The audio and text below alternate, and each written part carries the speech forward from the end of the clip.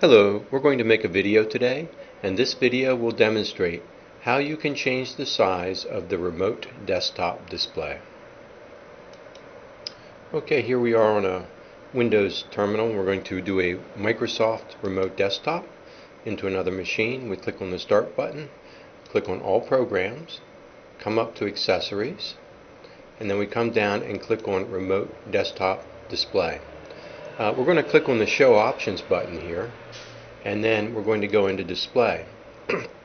here the um, display is set for 640 by 480, and if we go ahead and uh, come back in here to General, you can see I'm going into a, mach a machine that, um, whose name I know, and then I'm going to click Connect.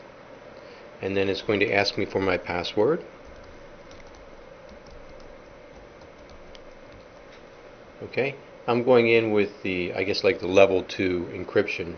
It's going to ask me about this um, I'm not going in at the highest encryption and uh, that's okay.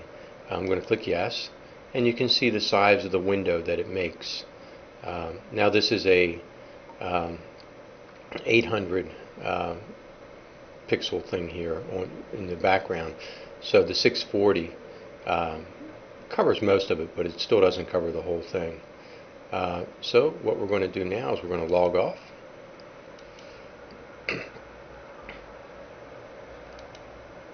we'll go to all programs, accessories, uh, remote desktop, and I'm going to click the show options again, and I'll click the display. And this time, as I said, this machine behind uh, 800 by 600.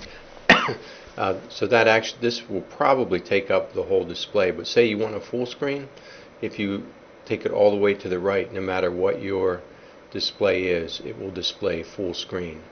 And, uh, and then if you we come up here back into general I see what machine I'm going into I click connect and then